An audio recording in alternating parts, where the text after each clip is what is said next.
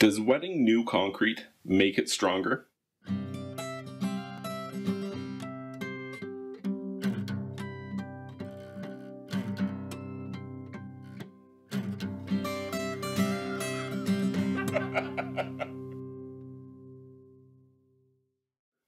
An important part of the concrete curing process is hydration, and especially that first window of three days is critical for the hydration of the concrete. Now, this is why you've heard of wet curing or moist cure, curing, and you're wondering, should I be doing this to my concrete? You can't say for every concrete application, yes, because there's some that you shouldn't, but for the vast majority of concrete applications, especially most structural things like a driveway or a patio or a deck or something to that degree, a sidewalk, these things probably would benefit from regular hydration throughout. Well, I mean, throughout the entire curing process would be ideal, but the first three days is going to account for about 40% of the overall strength of this concrete. And that's what you want to make sure that you do is for the first three days, make sure that you're watering the concrete consistently throughout the entire time. The time at which you should start watering the concrete is as soon as it's achieved a finished set that's such that it's no longer if you touch it it doesn't leave any texture or indents and you should even be able to walk on top of it before I would apply any sort of water because water over top of fresh concrete could cause a problem. So what is so important about this water curing process over the first three days? If the concrete dries out entirely, all of the water evaporates, it shrinks prematurely. I mean, it's going to do this anyway, and that's the reality, but it shrinks early.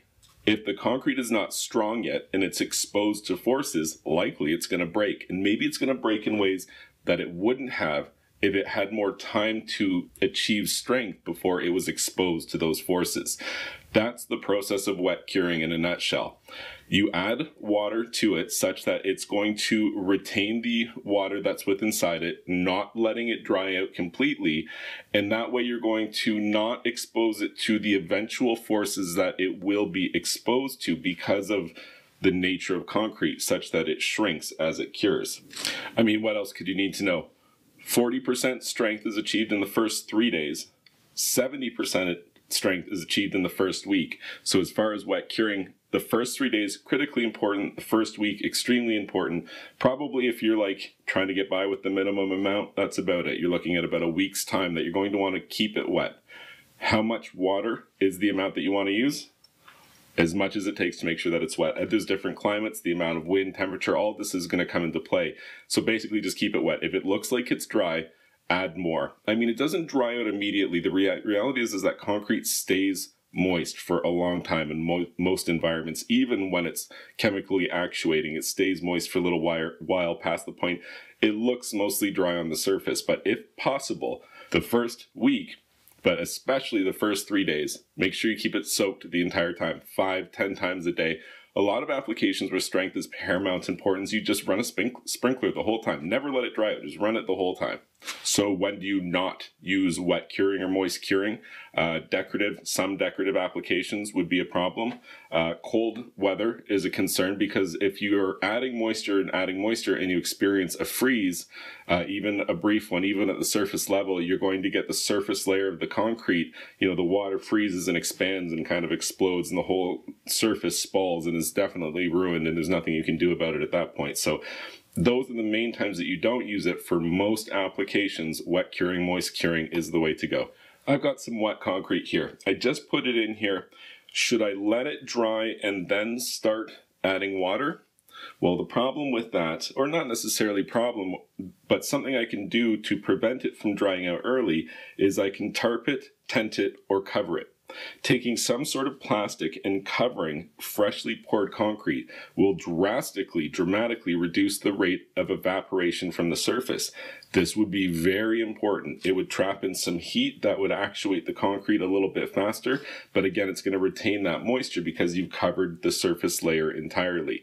The only concern if you have fresh concrete and you're going to cover it, be aware if the plastic is left to touch the concrete, it's going to leave Uh, you could could leave an impression if the concrete is fresh enough, but more likely the concrete's already hard and you're not too worried about leaving an impression from the plastic.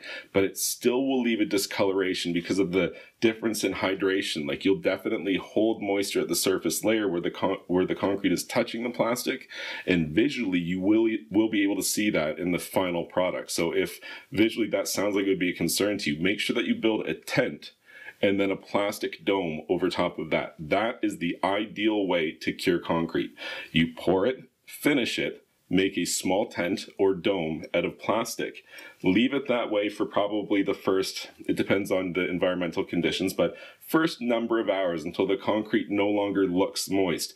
With all of the, the, the dome plastic, you'll develop condensation and moisture and water. It'll be a very humid and damp environment. And that's why the concrete will hold that initial hydration for so long.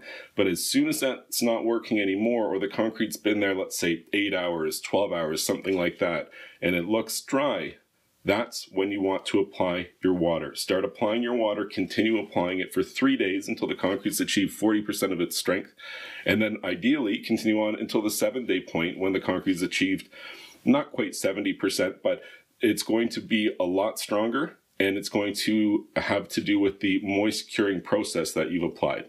So that is why you want to moist cure, and definitely for most concrete applications, it's the way to go.